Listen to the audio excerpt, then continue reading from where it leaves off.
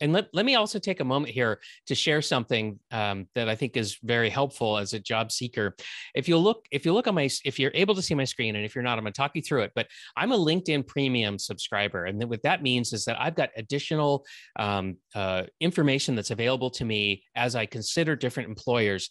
And so on the screen right now, I can actually see the hiring trends over the last two years for this university, uh, this fifth job that we just reviewed, and I can see that they they actually have 2,327 total employee, employees. And I can actually see that their company wide growth is down 5%, and their IT hiring is actually down 2%, and with a median tenure of 4.8 years.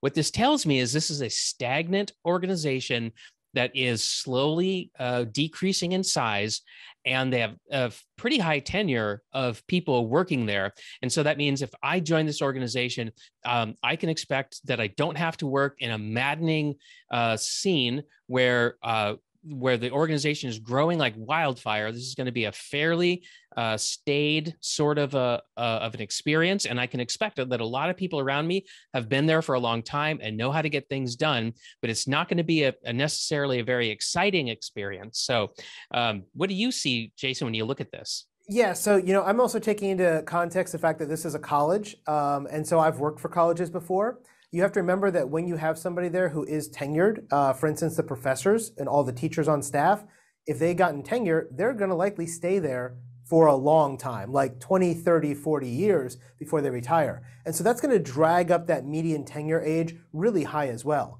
Just mm-hmm. because you see that 4.8, that doesn't mean the people in the IT world are staying there for 4.8 years or even you know three years. They may be going over really quickly because they're getting burnt out with the lack of funding that's happening. Uh, also with colleges, you've seen over the last couple of years, there's been a cut to manpower and they've been yep. trying to save money. This happened you especially during COVID, right? And you see that right here where the company wide they've cut 5% over the last two years. They've also had uh, minus 2% on the IT staff. That didn't drop nearly as fast as the rest, but they probably got rid of some tenured professors and decided to hire in adjuncts instead. Um, I'd be interested to see, you know, this same look on one of those other organizations we looked at, and I, and I bet you you're going to see a much smaller median tenure. Uh, and yeah. as I talk, I see I see uh, Kip's pulling up another one here. Um, this yeah. one actually has a higher li- median tenure. right because this is Littleton, Colorado. This is the this is the city, right? This is a municipality, and this is actually very consistent. Where seven point three years of a median tenure. Now, median here means average, right? It's just a it's a form of an average calculation, but seven point three years, um, and that makes sense because in my experience, people who join cities really do like stable jobs where there's not a lot of change, right? They like to stay in the same place a long, long time, um, but there's 408 total employees, so it's much smaller situation. 15% company-wide two-year growth overall, and 14% information technology growth over the last two years. So this is a place that's growing. Things are changing, but they've but they have people who work here for a long time. So my bet is is that if you went to work here, you'd probably see people struggling with change. You'd probably see them go, "Well, that's not the way we used to do it," or you know, they, they they're probably just struggling with the idea that things are changing. And so you might you know experience that in the context of, of the work that you do. Right, a lot of a lot of people uh, feeling reluctant about the fact that that there's growth I don't know. I mean, I could be wrong, but that that's my experience. But what, what do you see, Jason? Yeah, I mean, uh, while I talk, can you pull up the one for Visa? I'm just curious from a, sure. a corporate perspective, but uh, I spent a lot of time working with the government, and I can tell you that when people work for the government, they're usually trading a lower salary for longevity because they know that job is stable, they know the money yep. comes in week after week, and so when you see things like colleges, universities, local city governments, national governments like agencies like the FBI, CIA, NSA, you know, DOD, things like that, you're going to see people who have very long periods of time because they stay for that 20 to 30 to 40 years so they can get their pension. And so that starts dragging up your averages as well. Mm-hmm. Um, when we go here to Visa now, this is 4.3 years. This is much more uh, similar to the college we looked at than to the local government. Yep. When we look at this one, we see a 5% company wide growth over two years and a 12% down inside of engineering and tech.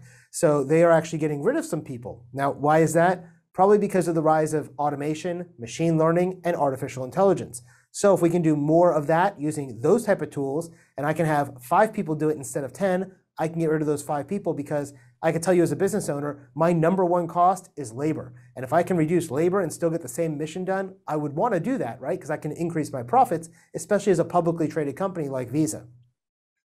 Yeah, and now now uh, what we can also see here is total employees, twenty thousand employees. This is an a this is an enormous uh, organization, very very big, and uh, and you can imagine it's going to be pr- pretty bureaucratic. You know, it's part of the financial and financial services industry, highly, highly regulated. Um, things are probably not changing there very fast. They probably have a lot of uh, of well established processes that you're going to have to learn and follow. So it's going to feel very different from from you know uh, uh, from some of these other jobs. And so why am I showing you this? Well, I'm showing this because when we talk about how different the jobs are, it's not just that the, the job descriptions themselves are different, which we saw that they are, but also the, the bigger context of the organization you're working in is going to also drive a lot of the differences. So even if you had two cybersecurity analyst jobs with the exact same duties and responsibilities, the fact that one is going to be at a company of 20,000 employees and the other one is going to be at, a, at an organization, a municipality with 400 employees, that's still going to result in some big differences in in the experience that you have there